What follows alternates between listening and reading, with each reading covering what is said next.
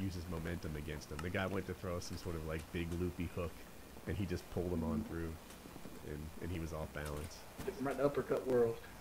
Yeah, but you're right though. Nowadays, like chokeholds and guillotines and triangle locks, that's all like common knowledge now. Like, Yeah. Everyone's seen it on Sports Center or seen it on, you know, whatever, and everyone knows it. Like kids know how to do that Now. You know what I do? I still rely on the old common sneaky weasel.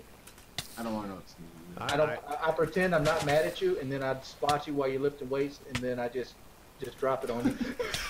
So before a fight, you take them to the gym.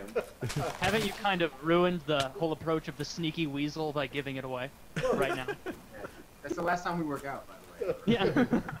Sneaky Weasel sounded like some sort of anal penetration move. That's where I, thought it was gonna, was yeah, I headed. didn't know. I didn't know where that was going. Yeah. I thought it was gonna be some borderline you, rape you, thing you to do. pretend that you're really buddy buddy with somebody that you really want to fuck up, and you get wait till the opportunity time so that, that you can beat them down with l- as little resistance as possible. Like on the bench press. Like on the bench press, they're carrying the weight. What are you what are you gonna do? Are They gonna drop the weight while they, while you punch them in the face or something? Wow. Yeah, you start them out fighting a guy who's like seven foot one, then you slowly work down, and then by the time they're fighting a guy who's five three, it feels like a seven foot one guy because you're so tired. It's a great way to work out your fighting.